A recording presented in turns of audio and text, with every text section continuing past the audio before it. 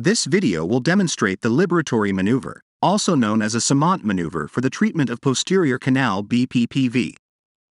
The Semont maneuver is not considered to be as effective as the Epley maneuver, but for those who are not able to lay flat on the back due to pain, this maneuver can work quite well which involves laying only on the body's side.